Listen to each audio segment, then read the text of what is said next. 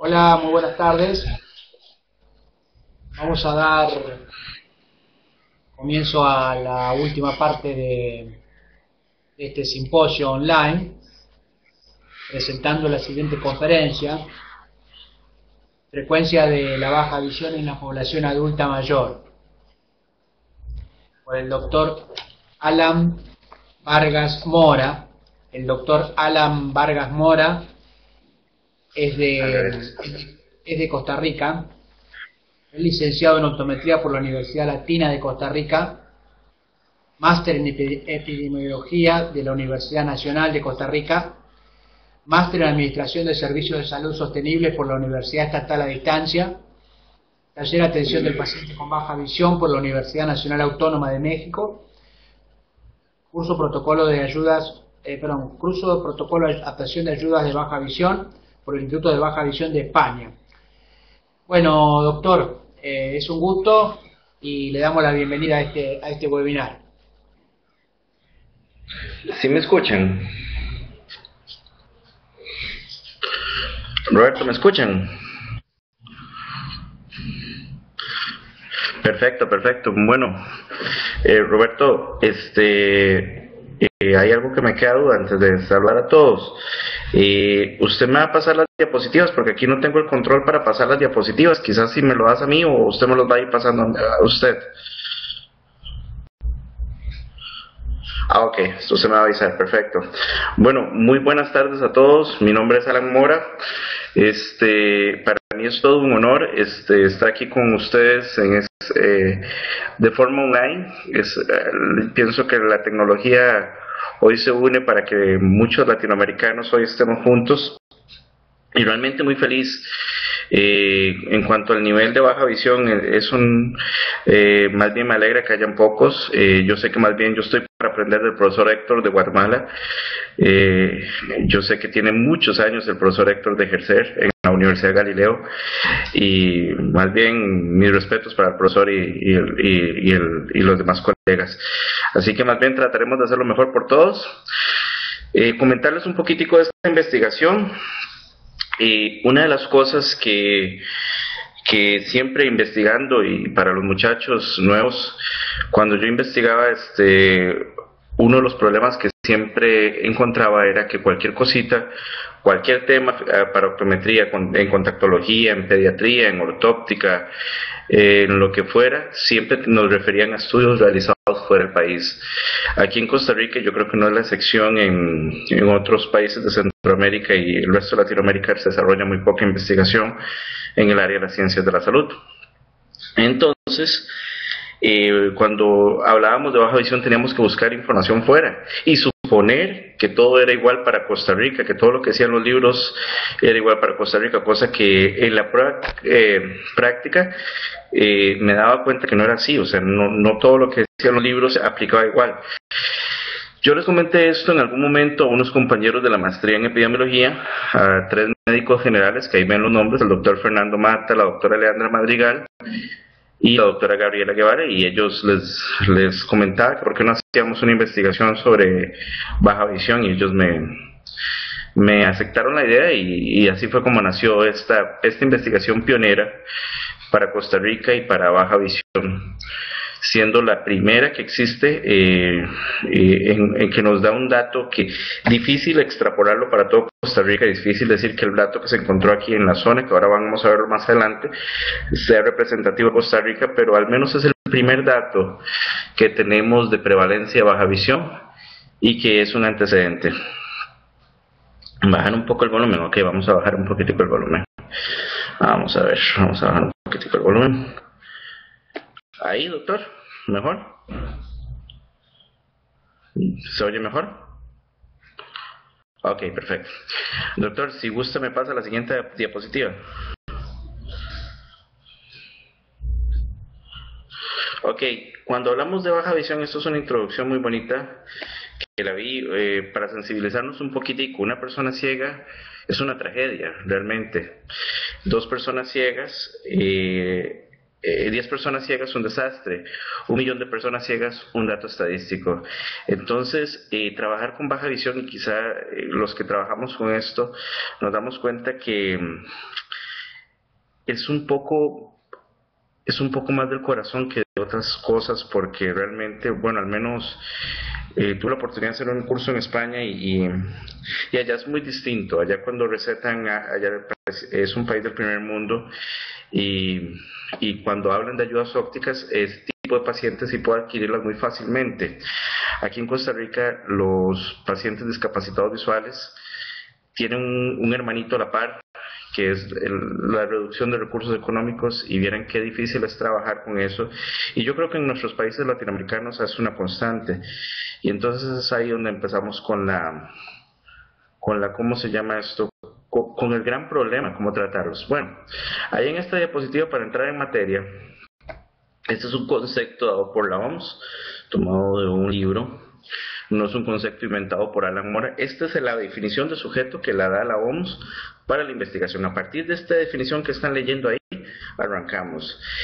Una persona con baja visión es aquella que aún después de tratamiento médico quirúrgico, eh, corrección refractiva y demás, no mejora después de 20-60 y tiene un campo visual menor a 10 grados. Esa, esa es la definición. Hay otras que inclusive hablan de de, que, si es, que si tiene habilidad para desarrollar o no algunas actividades. Pero esta es, esta es la definición de sujeto.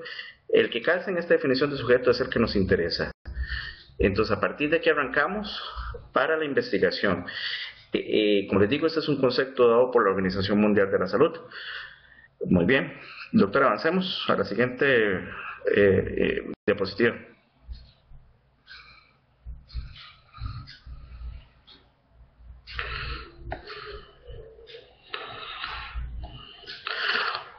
Ok, la misma Organización Mundial de la Salud nos da, nos da las definiciones eh, de eh, la baja visión se, se separa en distintos eh, categorías, donde la discapacidad visual moderada va de 2060 a 200 y la severa de 200 a 2400.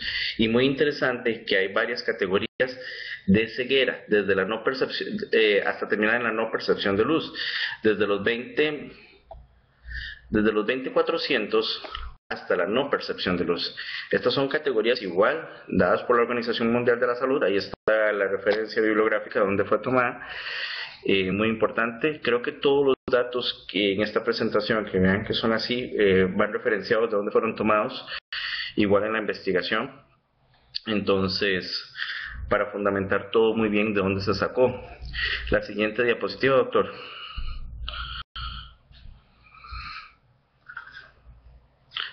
Podríamos incluso definir que baja visión entonces son los de discapacidad visual severa y, moderada.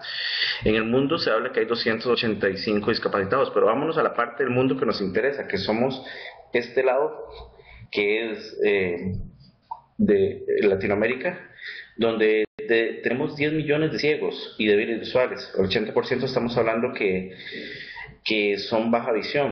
Imagínense que aquí en Costa Rica somos 4 millones y medio, aparentemente. Eh, si es un 80%, estamos hablando de 8 millones, es, más, es el doble, casi el doble de la población de Costa Rica lo que estamos hablando, que es de baja visión, y habemos muy poquitos, muy poquitos colegas que se escuche que, que trabajan con baja visión. Ojalá eh, el aporte que hoy estamos haciendo sirva para que algunos de los muchachos y demás que nos están escuchando este, sembrar esa semilla para que haya nuevos valores allá en Argentina y en demás lugares para, que, para trabajar con baja visión. La siguiente diapositiva, doctor.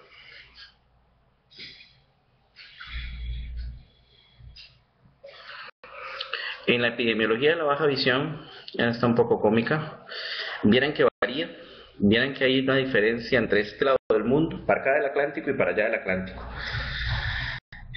Viera que pareciera que nosotros eh, en Latinoamérica tenemos una cosa distinta, Aquí son más frecuentes las causas de baja visión por errores refractivos no tratados, por cataratas eh, y por enfermedades metabólicas, como la retinopatía diabética. Mientras que en los países del primer mundo, el DMA, degeneración macular asociada, para ir despacito, este, el glaucoma y cosas más complejas, pareciera que son las, las que predominan. En estudio, en investigación que se tuvo que hacer de otros estudios hechos, no, no hablaban mucho, pero para Latinoamérica la, la catarata era la que predominaba. Entonces, y ahí sí nos encontramos un estudio que la Organización Mundial de la Salud Pública, que vamos a ver en la siguiente diapositiva. A ver si me la pasa, doctor. Ahí está.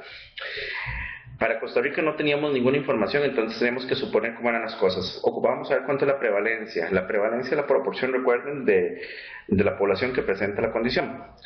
Entonces, la, en, ahí van a ver en, su, en, sus imágenes, eh, esta, eso es en el 2008, que se publica en un, en un journal en Gran Bretaña incluso lo pueden buscar eso. Es el único estudio a la fecha que hay de prevalencias eh, en varios países de Latinoamérica. Ahí se menciona Paraguay, eh, Perú, Argentina, Brasil, Cuba, Venezuela, Guatemala y México. Las separan por sexos. Eh, bien, me interesa mucho la Guatemala. ¿Por qué la de Guatemala? Porque era el país más cercano a Costa Rica en ese momento. Bueno, a la fecha sigue siendo igual, me refiero. Eh, la prevalencia más cercana a Costa Rica, no es que nos que decidimos independizarnos y irnos a otro lado, no. Me refiero a que, a que eh, geográficamente es la prevalencia más cercana en ese momento. Y sí, nos decidimos meter ahora y no sé, nos fuimos por Hawái los ticos. este, eh, entonces, correcto, nos mudamos. Entonces, este, vean que Guatemala presentaba un 12.5% de prevalencia. Ustedes ahí en Argentina presentaban un 5.9, como lo ven ahí en ese, en ese, en esa prevalencia. Entonces nosotros agarramos la de Guatemala y la, redondeamos a 15. Dijimos, ok, si Guatemala tiene un 12.5, vamos a suponer que Costa Rica anda más alto que Guatemala. No nos tiramos más abajo, más bien nos tiramos más arriba que Guatemala. Y a la hora de los cálculos de la prevalencia esperada nos fuimos a un, hasta un 15. Pásamela a la siguiente, doctor, por favor.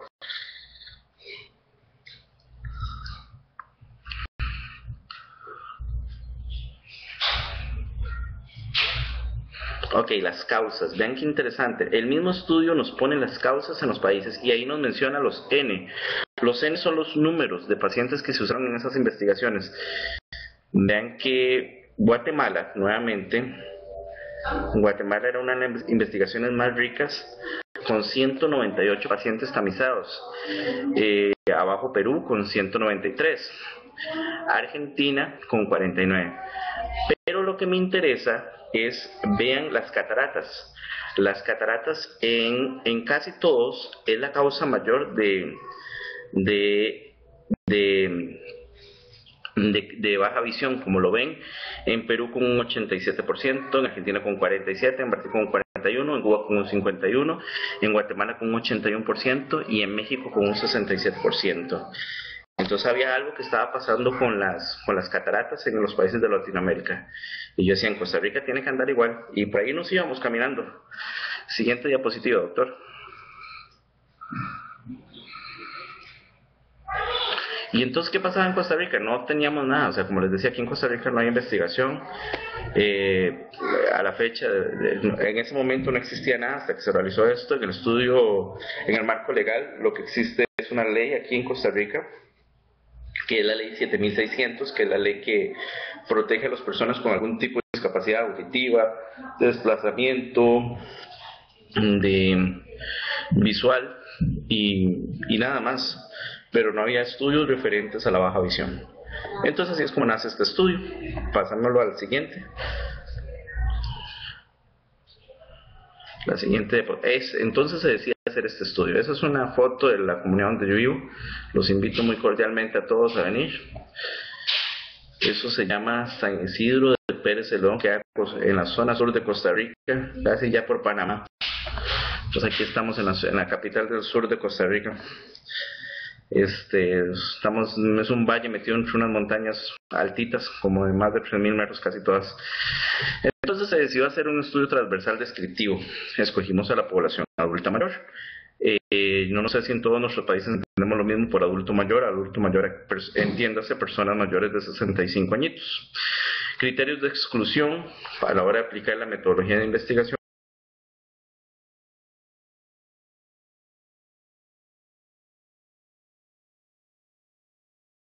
Hola. Parece que se le fue la conexión al doctor Alan. No se escucha, doctor, ¿eh? Para nada.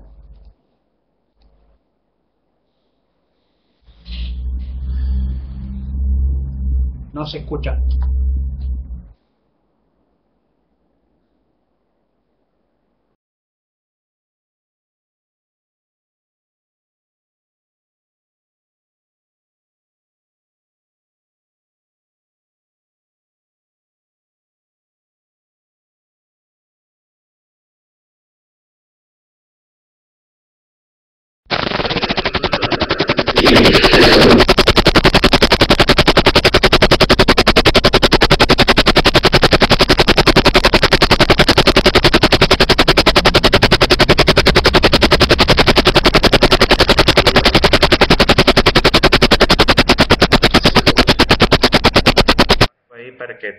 Y no sé qué pasó. ¿Sí me escuchan todos? Muchachos, ¿me escuchan? Ok, perfecto, gracias Liliana. Y Miriam y Ana y todos. Vuelvo a la explicación un minuto atrás. Ok, perfecto, vamos a irnos. Bueno, este, como les decía, se decidió hacer este estudio transversal descriptivo. Con mucho gusto se lo explico. Eso es una foto en San Isidro en general, donde yo vivo. Ah, fue que se cortó la conexión. Perdón, entonces. Este. Eso es la ciudad de San Isidro en general, es en la zona sur de Costa Rica, aquí donde yo vivo, más hacia Panamá, más hacia el sur. Estoy más cerca de ustedes, los argentinos, entonces. Este se decidió hacer aquí, es un valle rodeado por montañas de más de 3.000 metros todas. Entonces, para para volver a la explicación, si todos entendemos adulto mayor como lo mismo, es una persona mayor de 65 años, con ellos decidimos hacer la investigación. Los criterios de exclusión fue, como les decía, que el adulto mayor ya tuviese diagnóstico de ceguera, no nos interesaba, que el adulto mayor este, contase con alguna eh, em, eh, em, enfermedad mental que lo incapacitase y que nos hiciese dudar de las, eh, de las respuestas que emitía. Y la otra es que los cuidadores decidieran no. Limitaciones del estudio, pues mucha bibliografía, no encontrábamos casi nada. Y el tiempo no fue una limitación porque, sea como sea, le entramos. Eh, la siguiente diapositiva, por favor.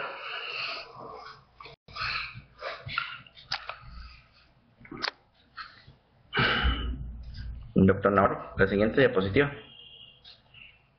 Ok, entonces, eh, en la... Perdón, en toda la muestra fue muy laboriosa esta investigación, 186 adultos mayores. ¿Cómo la determinamos? Nos fuimos al Instituto Nacional de Estadística y Censo, vimos la población para San Isidro en general, que son como 150 mil habitantes, eh, les decía, recuerden, en Costa Rica somos 4 millones y medio más o menos. Entonces, en Costa Rica tenemos un seguro social muy robusto, bastante grande, con una cobertura superior al 96% de la población.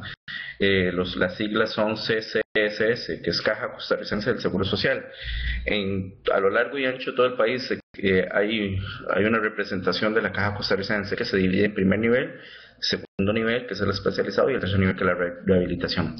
Pero me interesa el primer nivel. En el primer nivel son pequeñas clínicas que se llaman EVAIS, que significan equipos básicos de atención integral en salud. Dentro, para seguir desmenuzando ese, ese equipo, hay una persona que trabaja en esos lugares, que son los ATAPs. El ATAP significa asistente técnico en atención primaria de salud.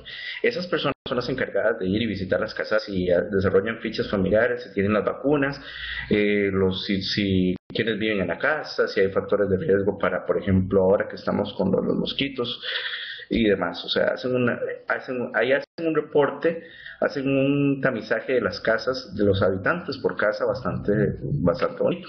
Entonces nosotros teníamos, ya habíamos determinado que con un 95% de confianza, un 5% de error estimado y una prevalencia esperada superior a la de Guatemala, que era de 12, y nos fuimos eh, hasta 15, entonces determinamos que nuestra muestra era bastante alta, 186 adultos mayores, imagínense en el montón de trabajo que fue.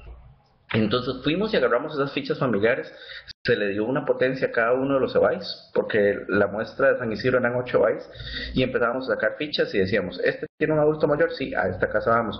Contábamos según la potencia que determinaba ese bytes en porcentaje y sacábamos otra ficha. ¿Este tiene? ¿Este no tiene? Ok, este sí, sacábamos ese nombre y lo íbamos a buscar a la casa.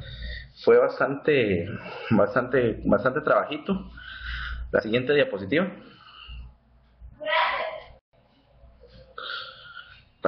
Ok, entonces en una primera fase fuimos a visitar a las casas de esos 186, los buscamos y para los que alguna vez, yo creo que el doctor Héctor ha venido alguna vez a Costa Rica y para los que han venido a Costa Rica, las direcciones en Costa Rica son tan particulares, son tan difíciles, somos tan buenos para perder a cualquiera que venga aquí a este país, hasta nosotros mismos nos perdemos, son súper, súper... Eh, yo diría idiosincráticas nuestras direcciones. Bueno, fuimos a buscar a los 186 y entonces, eh, eh, el primer, eh, la primera fase consistió en ir a buscarlos. Íbamos con un instrumento de recolección de información diseñado con este único fin. Ahí les preguntábamos datos de afiliación, edad. como toda la literatura, hablaba de de cómo se llama de que de, de, la existencia de problemas metabólicos como diabetes, hipertensión, colesterol, dislipidemias, perdón, y demás. También preguntábamos eso, también preguntábamos si recibían atención oftalmológica, si ya usaban anteojos, si veían bien con anteojos, si no veían bien con anteojos. Todo eso lo preguntamos. Se fue con una cartilla EDTRS, más o menos para que vean, para que se ubiquen que es una EDTRS Correcto, ese es el doctor al que me refiero. ese es el doctor al que me refiero, que es también profesor de, baja visión en, en, la Universidad Galileo, si no me equivoco. Este, siguiendo, una ETRS más o menos y se parece a esa que, que, ahí en la ilustración se ve. Entonces íbamos y, y medíamos con una cinta métrica 4 metros y le hacíamos toma hueso visual monocular tapa, ocluíamos un ojito y si nos veía, si nos superaba 20-60, perfecto, y ahí se suspendía la prueba y todo muy bien. Si no pasaba con el 20-60, le poníamos agujero estenopeico. Recuerden, eh, para los más jóvenes, el agujero estenopeico, si un paciente nos mejora con agujero estenopeico no toma hueso visual sin corrección, eso nos dice que probablemente lo ocupas corrección, porque le estamos quitando toda, toda la periferia, entonces le estamos dando una visión de foco muy buena. Entonces, este, le hicimos con agujero estenopeico. Si mejoraba, si superaba el 2060, perfecto, nos retiramos de esa casa y todo muy bien. Si no mejoraba, nos lo traíamos a la óptica. Ahí sí era la segunda fase de la investigación. Siguiente diapositiva. Porque todavía no pudimos determinar quién es baja visión solo por el hecho que no 2060, porque nos, nos hacía falta determinar si es que ese paciente este, y si este ese paciente lo que estaba ocupando era nueva corrección óptica. Entonces ya en la, en la óptica, en el consultorio, se le hacía el examen de la vista convencional, con el equipo convencional de optometría, más el de baja visión, que es la valoración de color con Fansworth 15, eh, con pantalla tangente campimetría, campos de visión central con grid de Ansler, sensibilidad contraste y demás. Todo eso se revisó. Todo, todo, todo, todo se revisó. Eh, siguiente diapositiva. Esta es la segunda fase eh, de la investigación. También eh, eh, revisamos variables sociodemográficas, variables médicas, variables optométricas, para explicarles qué vimos en cada una de estas variables. Bueno, sexo, género, edad, en variables médicas si ya tenían diagnóstico oftalmológico previo, cuál, obviamente, y dónde estaban llevando el control.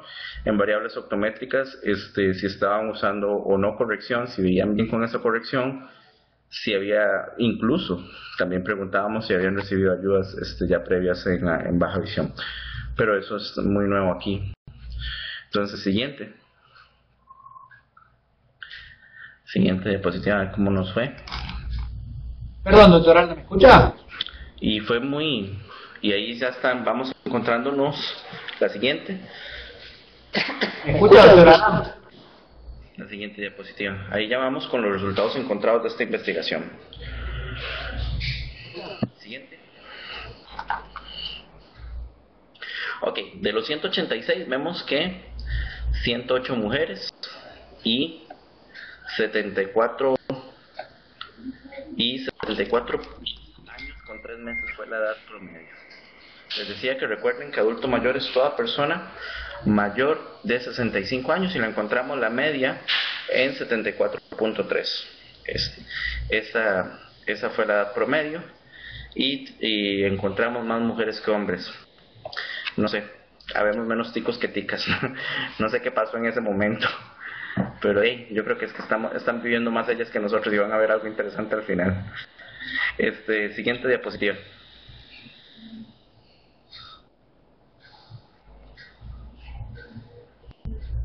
Ok, ¿qué encontramos? Vamos a ver. Descriptivos generales. No pudimos hacer un diagnóstico más fuerte a nivel de, estadística eh, ni epidemiología este, con tan poquitos eh, eh, encontrados. No, no podíamos encontrar puntos de, de, valores P y, y, otros. Entonces, solo descriptivo general. No pudimos hacer más análisis más ricos como T estándar y demás, porque no, no nos daban los resultados que encontramos como positivos. Eran muy pocos para encontrar este, generalidades. El 36% de los adultos dijeron tener diabetes, diabetes un 44.9% epidémico, el siguiente, ah bueno, asimismo un 60 son hipertensos. Siguiente diapositiva.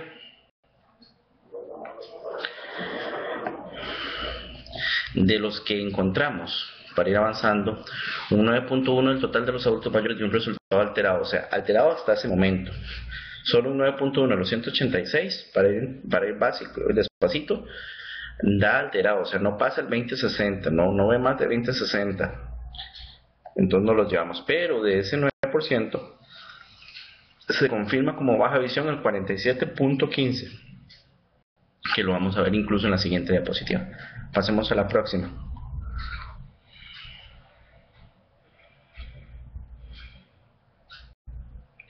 Ok, ahí están. De 65, entonces los estratificamos por edades. Con un N, N significa el eh, número de, personas. De 65 a 72 años, con un N igual a 80, una frecuencia de 43, no encontramos a nadie altera, a nadie positivo. De 73 a 80, un positivo, con, con un N igual a 60.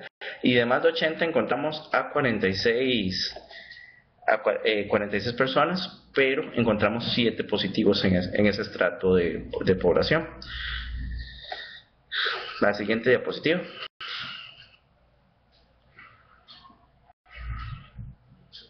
Entonces ven qué interesante. Ahora aquí, está lo, lo, lo, curioso. En toda la investigación se encontraron más mujeres que hombres, pero de los positivos, 6 fueron de los 8, 6 son hombres. O sea, no sé, no sé qué pasó con nosotros, los hombres. Poquitos hombres y de los poquitos que vemos no estamos tan, tan, no, no, no, no, no estamos tan bien de salud. Ahora, ahora les, explico una, una, una, una hipótesis que tenemos de que esto lo que es lo que está pasando. Pasemos a la siguiente.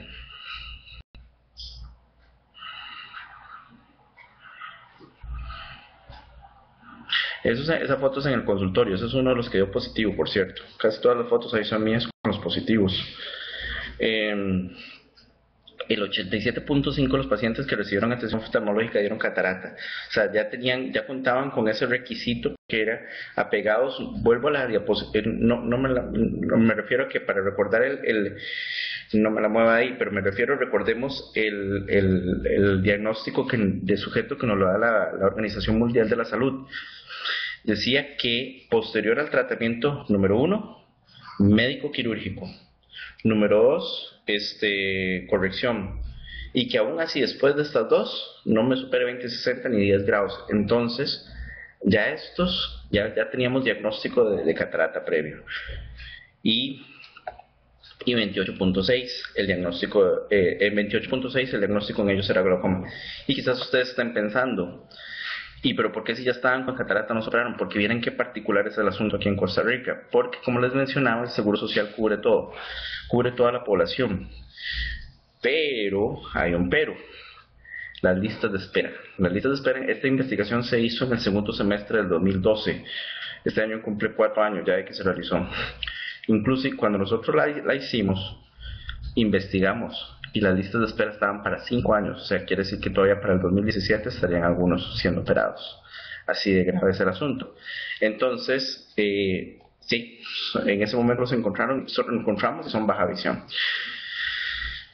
Siguiente diapositiva.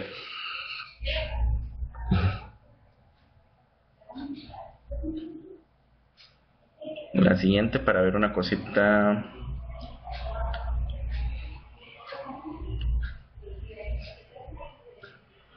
Doctor, ¿me pasa la siguiente? Por favor. Ok, entonces, en el análisis de categoría, 50% de los alterados los categorizamos de una vez como ciegos. Eh, y curiosamente ven que eran los que estaban en el estrato población superior a los 80 añitos. Esto coincide con mucha literatura encontrada que dice que eh, a mayor edad hay mayor probabilidad de presentar este un aumento en la, eh, la pérdida de la, de la, visión por, por pérdida de transparencia en medios refringentes. esto no quiere decir, y no quiero que se queden con la idea de eso, de que la edad es un factor de riesgo, no lo es. Yo pienso que antes de decir que la edad es un factor de riesgo para presentar baja visión, es mejor decir que los estilos de vida saludable, o en este caso los estilos de vida insaludables, en edades más tempranas, eh, podrían contribuir a que en los últimos años de vida presentemos deficiencias en la calidad de vida, siento yo. Es una hipótesis nuestra, porque decir que la edad es un factor de riesgo no es tan, no sería bueno. Siguiente diapositiva.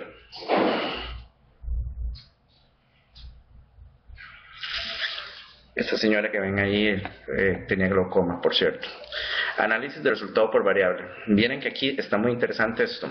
Como vimos, teníamos 8 hombres de, como 6 hombres de 8 positivos. En otros estudios, para cuando, si ustedes investigan en otros estudios realizados, siempre son las mujeres las que salen más mm, eh, más eh, positivas en los estudios de baja visión.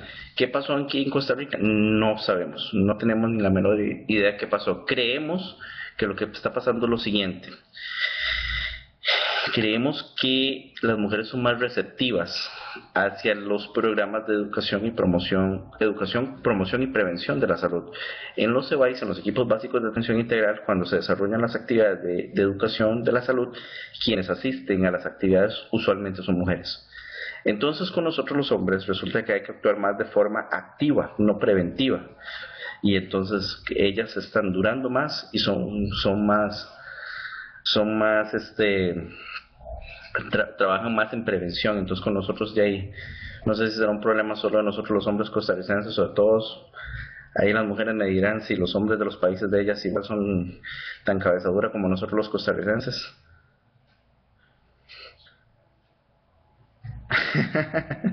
Dice el doctor que sí, probablemente en Guatemala es igual. Sí, sí, sí, yo creo que aquí en Costa Rica hacemos medio, medio cabezadura. Yo creo que eso es lo que está pasando. Esa es una hipótesis nuestra del, equipo de investigación de los cuatro. Este, que sí, efectivamente, eh, aquí no, aquí no, no nos estamos cuidando tanto los hombres. en Colombia pasa igual, o sea, no, es un problema entonces de todos los hombres latinoamericanos, entonces. Pasemos a la siguiente, eh, pasemos a la siguiente diapositiva. Ahora que el señor menciona John Mappe, menciona que es colombiano. Esta investigación fue aceptada por la, cuando gusten buscarla, en la revista de la Universidad de La Salle, que este, ahí pueden, pueden meterse y buscar frecuencia de la baja visión en la población adulta mayor. Es un artículo que fue aceptado por ellos, entonces nos, nos honraron con el honor de aceptar esta investigación en una revista científica como lo es la revista de la Universidad de las Salle. Es un comercial que les quería hacer. Bueno, en análisis de resultados por variable, quieren que toda la literatura, para seguir, habla de que eh, en casi todos los pacientes con baja visión hay este eh, problemas de en casi todos los, eh, en casi todos hay problemas de, eh, metabólicos. Y en este caso no fue así. Solo encontramos tres casos confirmados con diabetes. Lo pero pero hay un pero. Si usted como paciente recuerde presenta uno o más de uno evento de estos, diabetes, hipertensión o colesterol, el pronóstico de que su situación visual eh, se ponga más complicadita es muy posible, es muy probable, ¿verdad? Pero al menos en esta investigación no fue tan significativa la presencia de estos, de estos trastornos metabólicos. La siguiente diapositiva, por favor. Ustedes en Argentina ya tienen las 7. La siguiente diapositiva. Vean, esta sí me dolió mucho porque en las variables análisis asistenciales de los ocho positivos, este, eh, ninguno, ninguno sabía que era baja visión. Ni ellos ni sus familiares sabían que eran baja visión. Se pudo constatar que las, que las necesidades asistenciales para ellos, para baja visión, no estaban cubiertas. Incluso se dan cuadros de agresión. Eh, ¿Agresión de qué tipo? Cuando llegué, por cierto, a una casa, me encuentro a un adulto y simplemente poner al señor frente al televisor y decirle, papi, ubíquese ahí, viendo el tele que él no puede ver. O sea, eso, eso no se hace porque no saben qué hacer con el pobre adulto mayor, ni el entorno. El adulto mayor lo que hace es aislarse, es inhibirse, es, es, probablemente estar de mal humor, triste, como me dijeron muchos, esperando que ya Dios los llame, y eso no es así, eso no es calidad de vida. Y los, y los que los cuidan, pues también tampoco sabían cómo manejarlos. Entonces las necesidades asistenciales en ninguno de los casos estaba cubierta y fue bastante triste. Siguiente diapositiva, por favor. Yo usualmente lo que hago, tal como ven ahí esa muchacha que está con un simulador de glaucoma, a los, a los, a los que los cuidan los pongo con un simulador de la situación que presenta al, afectado para que entiendan qué siente y cómo ve el, el, el familiar. El análisis optométrico, un poquitico en la materia nosotros. Bueno, revisamos sensibilidad y contraste. En 4.8 fue posible, imagínense, con opacidades en medios refringentes que vamos a encontrar todos alterados. De los cuatro que, que, estábamos, de, los de 4.8 que revisamos, el 100% dio alterado, lo cual es, eh, concuerda nuevamente con este con la epidemiología más frecuente encontrar, que es la catarata.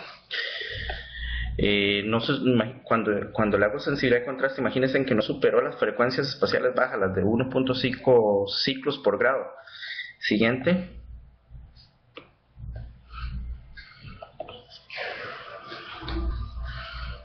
Visión, campos de visión central, en 4.8 fue posible revisarlos y 75 eran alterados. Aquí es multicausal, o sea, un ojito de un adulto mayor, yo no pienso y cuando hacemos fondo de ojo, no solo vamos a encontrar una opacidad medio refringente, hagamos este campo de visión central con Grid también en consulta general, porque un ojo de un adulto mayor podemos encontrar muchas, muchas cosas, triquiasis, párpados, eh, flacidez en párpados, eh, muchas otras cosas, pero eh, la, la Grid es una prueba muy simple, muy sencilla para todos los muchachos que, nos, que me escuchan, que nos sirve para discriminar si hay degeneración macular asociada a la edad y eso es muy, muy importante. Incluso ahora la estoy haciendo después a todo paciente después de los 60 años y ya hemos encontrado dos positivos tempranos. Este, y es muy, muy valioso esta prueba. Entonces, yo, en, un ojo de baja visión, es, para mí es multicausal. Eh, no, no solo catarata vamos a encontrar, podemos, si hay daños en cristalino, probablemente también vamos a tener daños en, en ¿cómo se llama?, en retina, en mácula. Eh, siguiente, por favor. Si no me equivoco, sigue la diapositiva de visión al color. Ah, no, de campos visuales. En, 8, en 4 de 8 fue posible revisarlo. Están reducidos los campos. Este es uno de los señores que estamos evaluando. En el superior con 30 grados y en el inferior con 20. Son evidentes los campos de visión central. Pero ¿qué es lo importante en una campimetría en baja visión? Para los que se, Dios quiera que se, se inicien en esto de la especialidad de la baja visión. Y lo más importante de la evaluación de los campos de visión periféricos es es la autonomía en el desplazamiento, es el entender que está a mis lados, a, mi frente, a mis lados y mis laterales para poder desplazarme. Cuando ya yo no siento seguridad de que estoy viendo a los lados, me vuelvo si no estoy entrenado, si no he aceptado mi condición, me vuelvo una persona temerosa, inseguro al caminar. Y si no lo he aceptado, pues seré una persona que se estará cayendo y golpeando constantemente.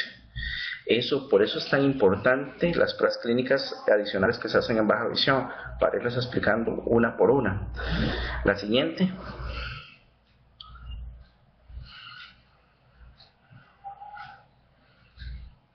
La siguiente, si no me equivoco, habla de la visión al color. en todos, el 100% fue, son tritanómalos, todos salieron alterados.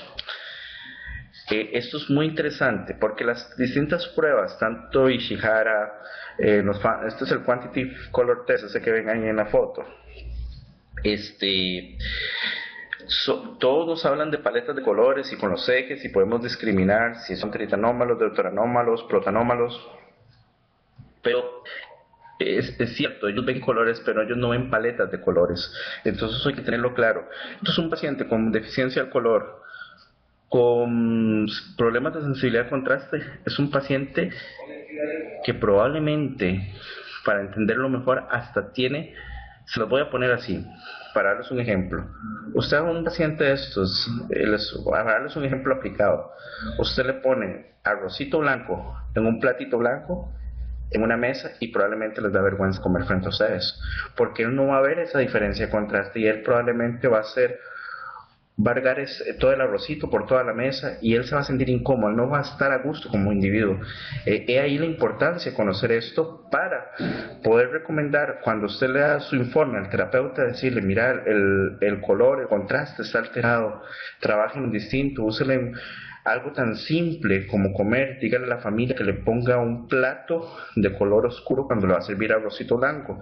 Y luego están las técnicas del reloj, que por ejemplo a las 12 ponemos arrocito, a las 3 ponemos, si tenemos frijoles ese día, a las 6 ponemos un pedacito de carne, si es que no lo vamos a comer ese día, y a las 9 una ensaladita, cosas así, por decirles algo, pero es muy importante que en nuestro informe, cuando hablamos esto, dimensionemos eso, porque eso le va a dar, los, eh, eh, el trabajo de un optometrista en baja visión es precisamente aportar toda esta información para que el terapeuta sepa cómo, cómo introducirse en la casa en el, para poder habilitar a este individuo.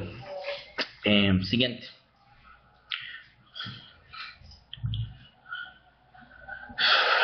Vamos a ver. No era objeto de la investigación. Este señor que vemos ahí es iletrado. Me, fueron poquitos los que nos encontramos en esta condición. Pero, Jay, ya lo teníamos aquí en, el consultorio, ¿cómo no íbamos a, trabajar con ayudas ópticas y no ópticas? A este señor con una barra magnificadora de 2X le dimos, le volvimos un poquitico de, visión cercana. En visión cercana hay que tener mucho cuidado de que el, texto continuo no es lo mismo que le pongamos una cartilla y que a grandes esfuerzos eh, nos identifiquen y usted diga una M, 1M, perdón, de agudeza visual. Sí, pero 1M no es lo que él logra leer. Eso es lo que hay que diferenciar en visión cercana en baja visión. Una cosa es lo que usted puede ver esforzándose y otra cosa muy distinta es lo que usted puede leer. Si es texto continuo, si es texto sobre fondo blanco o sobre fondo negro, con filtros o sin filtros, eh, con un tiposcopio. Entonces, a este señor en este caso en particular, eh, eh, decidimos trabajarlo así y le ayudamos con esa parte no era, era, era injusto que ya teniéndolo aquí no trabajarle esa parte. Siguiente, por favor. De hecho, lo que está firmando es el consentimiento informado de la, de la investigación. el análisis epidemiológico. Bueno, eh, como les decía, esto, esta investigación nace a raíz de la maestría en, en epidemiología que, que los tres médicos y yo decidimos hacer.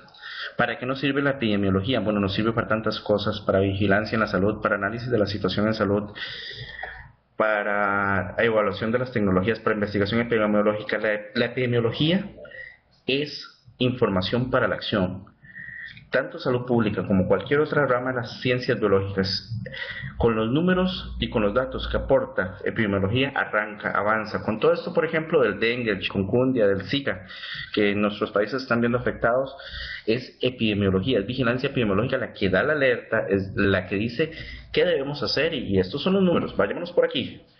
es, es información para la acción. Entonces aplicamos eso a esta investigación. Siguiente diapositiva.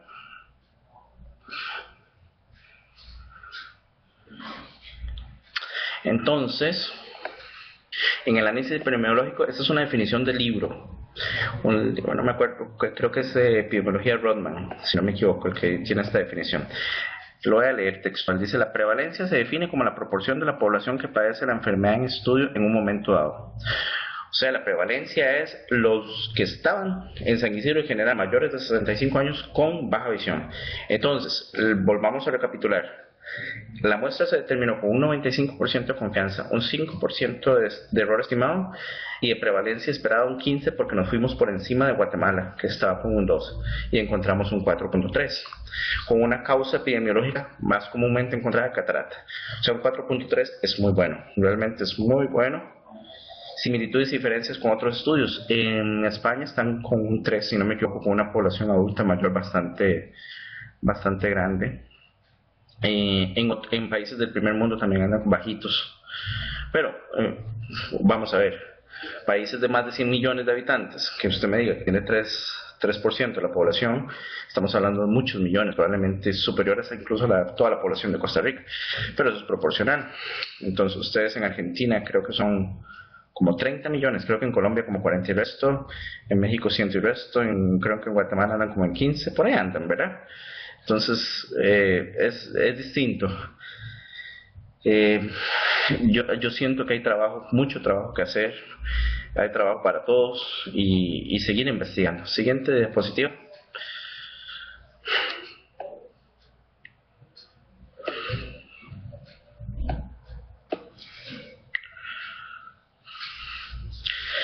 aquí, esto es, algo muy idiosincrático de nosotros aquí en Costa Rica. Les explico qué pasó con esto, para explicarles qué pasó aquí con estos tres. En la diapositiva anterior les dije que la prevalencia encontrada fue el 4.3, lo cual nos ubica bastante bajos, pero se excluyeron tres.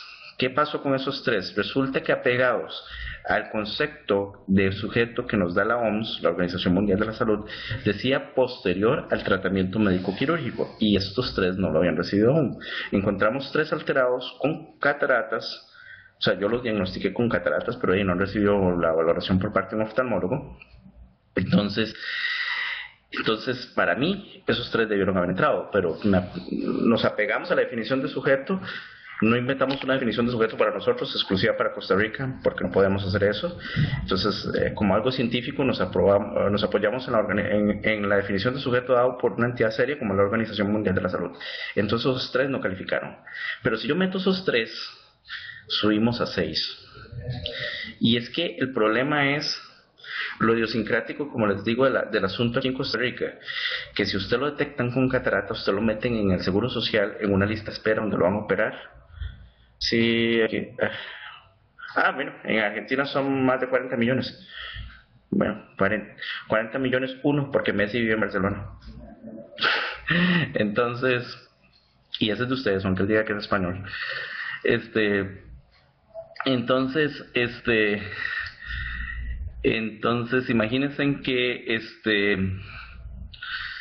eh, estos, estos, eh, estos estos señores van a ir al, al, al, Seguro Social donde los van a meter en listas de espera de 5 años o de 6 años, porque así están las cosas lastimosamente en el Seguro Social, en, el hospital donde corresponde el área de atracción, donde se realizó esta investigación.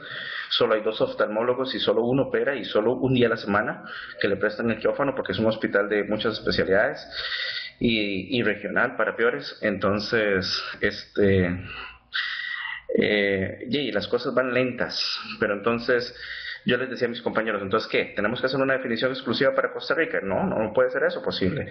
Realmente, o sea, para mí es 6%, porque porque ni modo, o sea, eso tenés catarata y, y, sos algo, o sea, entre hoy y cinco años algo vas a hacer, no sos visual y algo tenés que ser.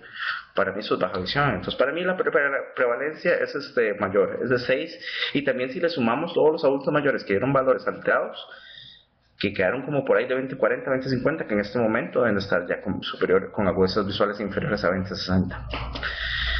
Sigamos a la siguiente diapositiva.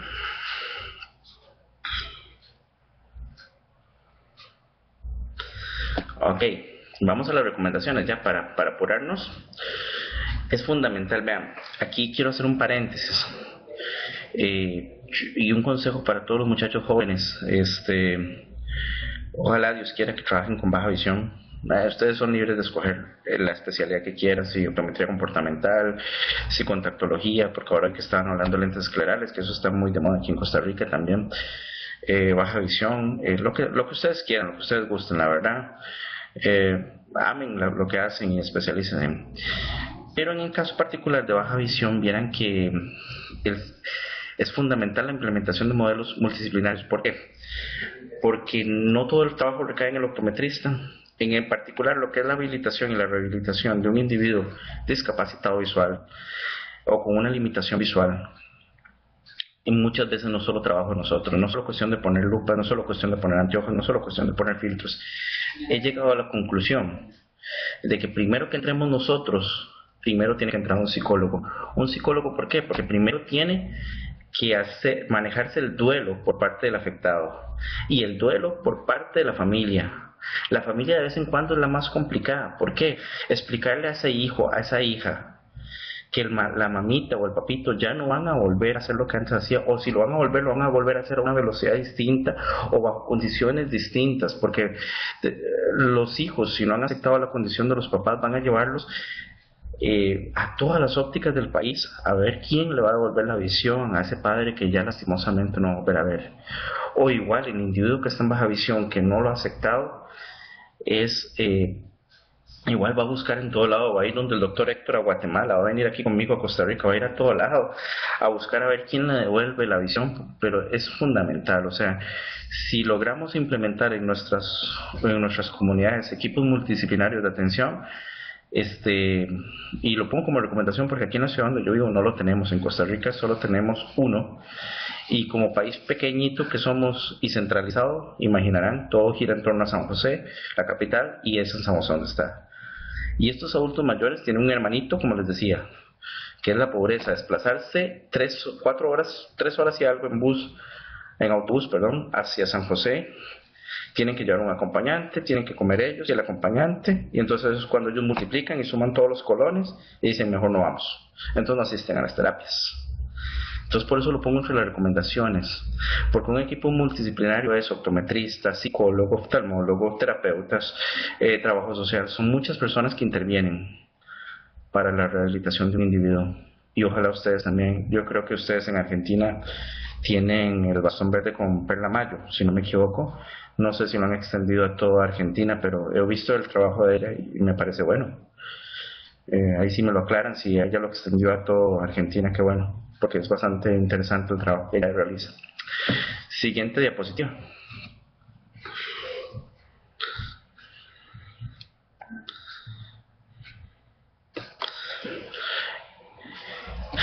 es que en, los en la recomendación los resultados hallazgos sirven para que las entidades gubernamentales, esto se le enseñó eh,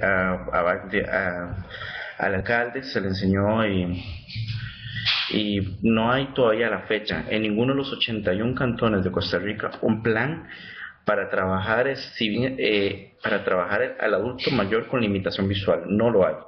Si bien es cierto, tenemos leyes que protegen al adulto mayor y demás, que le dan facilidades y demás, y se habla de las limitaciones, pero no específicamente eso. Y no tenemos un centro para ellos, y sería lo ideal. Eh, y no existe referencia si en algún momento se ha realizado alguna campaña aquí en Costa Rica para eso. Siguiente. Vamos a ver. Este es mi sueño. En esta diapositiva yo creo que está uno de mis sueños plasmados. Si yo le pregunto a John Mappe, ¿cuál es la prevalencia de la miopía en Colombia? Colombia está dando el primer paso en tener un sistema de vigilancia para la salud este, visual. Creo que, porque leí un artículo y ustedes van a ser creo que los primeros en dar ese paso con los eh, ay no me acuerdo cómo es que le dicen ustedes al seguro social pero es que ustedes tienen varios tipos pero están recolectando la información eh, y leí precisamente otro artículo Pero, por ejemplo, yo le pregunto a don, Héctor González, o me preguntan a mí, o al doctor Navarro, le preguntamos, ¿cuál es la, no sé, cualquier cosa, la prevalencia del queratocono en Argentina, o la prevalencia del queratocono en Guatemala, el doctor Héctor González? Y estoy casi tan seguro que no, no la conocemos, porque no hay bases de datos en nuestros países, no estamos alimentando bases de datos con datos de vigilancia epidemiológica, datos de vigilancia para la salud visual. Para mí, o sea, ustedes ven, incluso son acuerdos internacionales, los eventos de notificación obligatoria en los sistemas de salud eh, a nivel primario, secundario y, y terciario. Este, se notifica si encontraron un paciente con dengue, se notifica si encontraron algo con violencia intrafamiliar y todas estas cositas. Pero a mí me encantaría, y es mi sueño, que por ejemplo a todo oftalmólogo y a todo optometrista nos obligaran a notificar todo queratocono.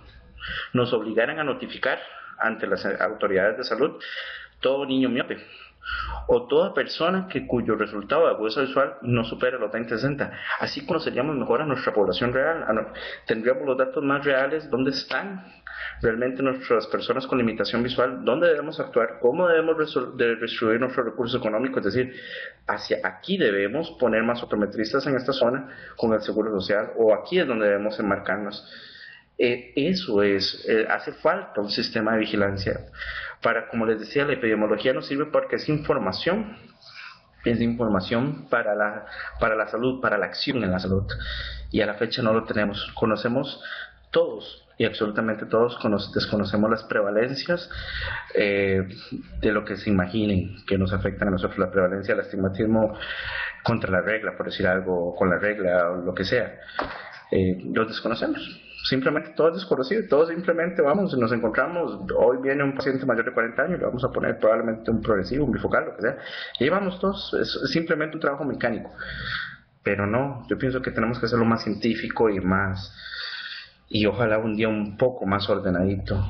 Ojalá Colombia, que es el que me di cuenta que querían hacer eso, este, logren hacer esto de un sistema de información con datos, al menos con los seguros sociales de ellos, y y darían el primer paso y ojalá muchos les copiemos ese ejemplo. Al menos aquí en Costa Rica no lo tenemos. Y no conozco ningún país que por el momento lo tenga. Y me corrigen si en algún país de los, de los presentes este, lo tienen. Siguiente diapositiva, por favor.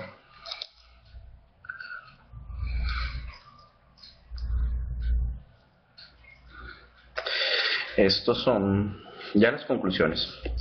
Entonces encontró una prevalencia de baja visión en adultos mayores menor a la esperada, lo cual es positivo. Ya les dije, esperábamos 15, encontramos 4.5, que para mí es 6. Eh, lo cual es bueno, lo cual es bueno. Eh, lo malo, Ajá. Excelente, qué bueno que te están desarrollando programas. Y yo también los felicito desde aquí. Este, eh, se encontró una prevalencia menor a la esperada, eh, se detectó ausencia de información referente a baja visión, por eso la importancia de reportar todo, porque lo que, por ejemplo, ahora que veo que está, que Colombia, México, Perú y Ecuador están desarrollando programas. Qué bueno sería que esos lo que están haciendo ellos y lo que están encontrando se, se pudiese publicar, se pudiese ver, se pudiese presentar de forma científica y decir, y, que otro lo. Entonces, y, ver cómo, cómo, cómo lo hacen, cómo lo desarrollan, porque al final de cuentas yo pienso que como profesionales no, no, no hay egoísmo. O sea, todos eh, decidimos estudiar optometría por una vocación de servicio y de, y de, y de, dar lo mejor por nuestros pacientes. Entonces, eh, eh, como les decía, falta más información. Eh, y, ahí vamos, todos. Ojalá eh, estas, estas, eh, estas. Mañana creo que expone la doctora mexicana Liliana. Yo creo que ellos también, ellos tienen, ella me decía que una vez que hablé con ella, que ellos tienen en el hospital donde ella trabaja, ellos sí están desarrollando bases de datos, pero solo del hospital donde ella trabaja. Entonces ellos tienen datos estadísticos del hospital, lastimosamente, que sería nuevamente de, eh, difícil suponer que es para toda la República Mexicana, pero ya es algo, por lo menos, y exponerlo. Entonces, sigamos adelante. Siguiente diapositiva.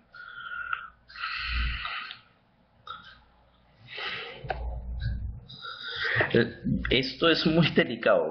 Vale que ninguno de ustedes eh, de los que estamos presentes trabaja en la Caja Costarricense de Seguro Social, porque decir que la, que la atención que reciben los adultos mayores de San Isidro en general es eh, una causante o es un factor de riesgo para presentar baja visión es un poco complicado.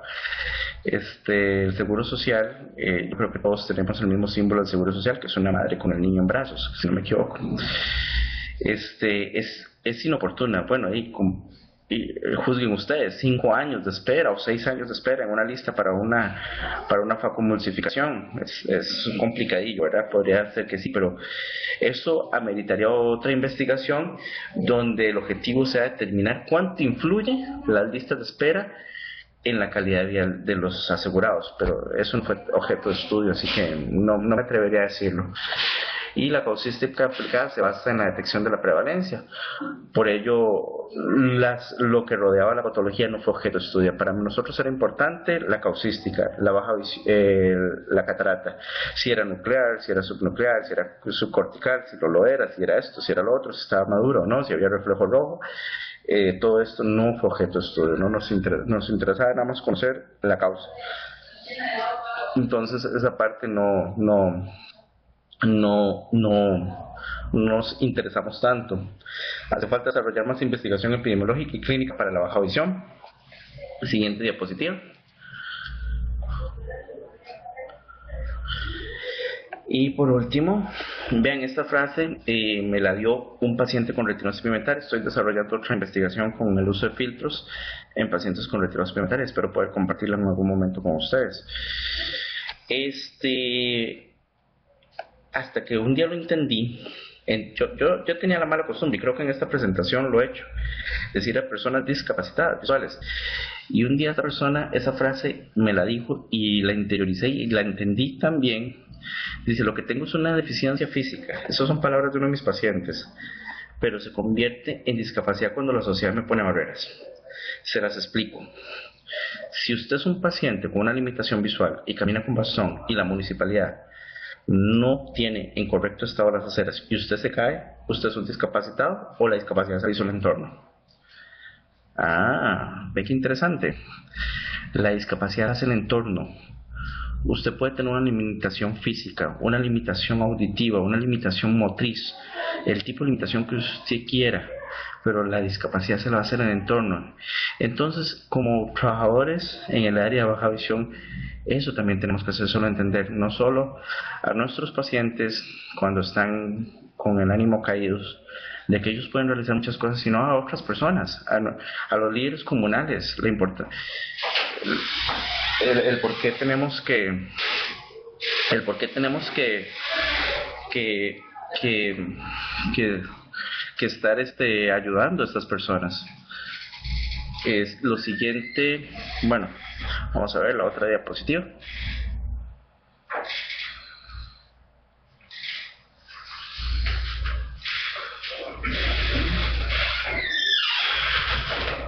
Ah, bueno, ya es mi despedida, pero no me olvidaba eso. No, y de todo corazón, este, no sé si espero que hayan interacciones. Ya sé que ya ustedes en Argentina están cansaditos, son allá, aquí, en Costa Rica son las cuatro y media, son tres horas más, son siete horas y media allá en Argentina. Con ustedes y gracias a todos. Si hay una interacción en el chat, pues ahí por haberme invitado y a todos por participar. Muy gracias a todos. Muchas gracias.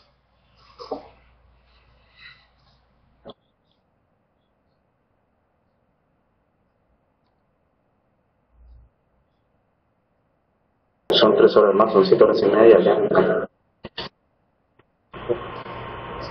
Con ustedes. Gracias a todos.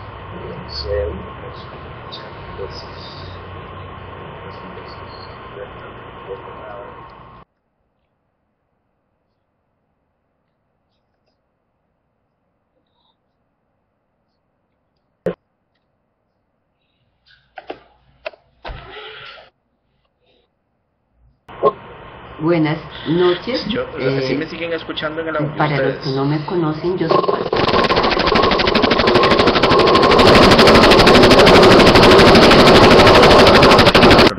eh, yo soy Marta Galeano, muchas gracias doctor por la linda charla que nos dio hoy. Estoy ayudando a Roberto un poquitico. Él ya viene a despedirlo y a darle las gracias por la, por la, por su participación en este mm, simposio. Muy amables. Sí, sí, sí, yo sí te escucho.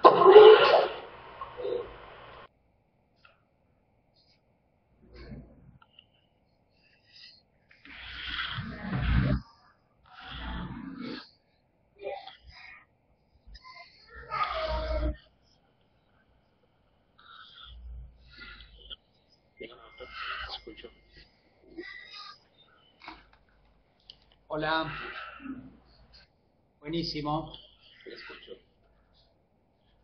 Sí, buenísimo. ¿Me escuchan todos? ¿Me escuchan? Sí, sí, yo sí te escucho. Ah, bueno. Alan, te felicito. Realmente veo que ha sido un trabajo muy bien preparado. Eh, que nos, sobre todo a los profesionales que están escuchando, ¿no? Nos hizo pensar, ¿no es cierto? Lo que nos dejaste es un mensaje, primero que es un enfoque distinto a todo lo que veníamos viendo desde, hoy a la mañana, sobre todo nos dejas pensando que es lo que, es cierto, lo de las estadísticas, no hay estadísticas en, lo que es esto de la, óptica, la radiología, la optometría, las enfermedades. Las empresas siempre se quejan que no hay estadísticas a veces para hacer determinadas acciones o determinados productos. Y bueno, muy buen trabajo, te felicito en principio. En serio, todo corazón ha sido una, muy contento de haber compartido con todos ustedes. Sobre todo, sobre todo qué, qué, es lo que la función del optometrista, del profesional de la visión. Gracias, gracias, muy amables, en serio, por sus palabras. El trabajo interdisciplinario que dijiste, y tal cual. Y bueno, hay mucho por hacer, hay mucho por hacer, y a veces está bueno este Mal de mucho, consuelo de tontos, dice. Ver que hay problemáticas similares en los países. Bueno, eh, eh, Alan, nos mantenemos en contacto. Como hacemos eh, todo el día, yo soy el que hago el aplauso por todos.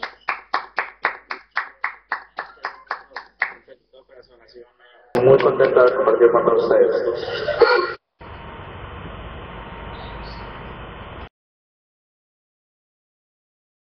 Bueno, gracias. Nos, mantenemos en contacto. Pura vida, como dicen en Guatemala. Costa Rica. Costa Rica, perdón. Uy, perdón. Ahí venía bien hasta ahí. Venía bien hasta ahí. Saludos a Wilber Aguilar. Venía bien hasta ahí. Ahí están los saludos de la gente. Muy bien, como yo decía, eh, creo que muchos nos deja pensando todo lo que pero por el lado bueno es todo el campo que hay para desarrollar. No solo la, optometría termina en la contactología o en la óptica, ¿no? Cuántas cosas que hay para hacer. Bueno, acá lo estoy buscando al próximo disertante que recién lo había visto por acá. Acá está. Bueno, para finalizar con la actividad de hoy, vamos a presentar al siguiente orador.